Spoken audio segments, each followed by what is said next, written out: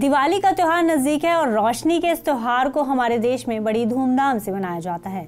लोग इस त्यौहार पर जितना पसंद मिठाइयाँ बांटना सास सरावट करना करते हैं, वहीं बच्चों को उतना ही पसंद पटाखे फोड़ना होता है। लेकिन देश के कई इलाकों में पहले से ही इतना प्रदूषण बढ़ गया है कि लोगों को सांस लेने में परेशानी हो रही है और वहीं इन पटाखों के धुएँ से सेहत और बिगड़ सकती है।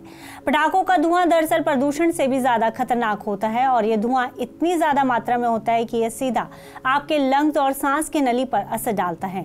वहीं इसमें मौजूद खतरनाक केमिकल्स आपके लंग्स पर लंबे समय तक असर छोड़ते हैं। जिन्हें पहले से ही सांस संबंधी बीमारियाँ, उनके लिए पटाखों का धुआँ वैसे ही खतरनाक होता है। ऐसे में अस्थमा ब्रोनकाइटिस के मरीजों को सांस लेने में परेशानी आना शुरू हो जाता है।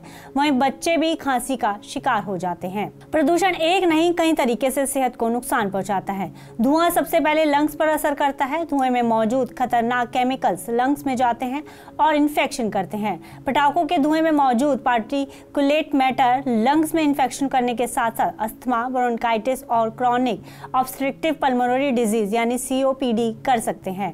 पटाखों के धुएँ में मौजूद कुछ रसायन कैंसर के खतरे को भी बढ़ा सकते हैं। पटाखों के धुएँ में मौजूद रसायन न्यूरोलॉजिकल समस्याएँ भी पैदा कर सकते हैं, जिससे सिर दर्द का कारण हो सकता है। अगर आप पटाखे जलाना भी चाहते हैं तो कोशिश करें कि पॉल्यूशन फैलाने वाले पटाखों की जगह ग्रीन पटाखे जलाने की कोशिश करें। ये प्राइस में हालाँकि थोड़े महँगे ज़रूर होते हैं, लेकिन पर्यावरण के लिए बेहतर होते हैं। ये पटाखे जलने पर रोशनी और आवाज़ करते हैं, इनसे ज़्यादा धुआँ नहीं निकलता और ना ही ज़्यादा प्रदूषण फैलता है। ये बच्चों और बड़ों दोनों की सेहत को ज़्यादा नुकसान भी नहीं पहुँचाते। वहीं एक्सपर्ट्स का मानना है कि कम जगह में और ज़्यादा भीड़ वाली जगह में पटाखे फोड़ने से भी सेहत को नुकसान पहुँचता है। कम जगह की वजह से आप पटाखों के आसपास ही खड़े रहते हैं, जिससे पटाखा जलते ही सारा धुआँ आपके शरीर में चला जाता है। वहीं खुली जगह में पटाखे जलाने का फ़ायदा ये होता है कि आप दूर रहकर पटाखे जलाते हैं, जिससे पटाखों का धुआँ सीधा आपके अंदर नहीं जाता। इसलिए कम जगह की बजाय खुली जगह में पटाखे जलाना अच्छा माना जाता है। वहीं सुरक्षा के लिहाज से भी खुली जगह पर पटाखे जलाना ज़्यादा सुरक्षित माना जाता है।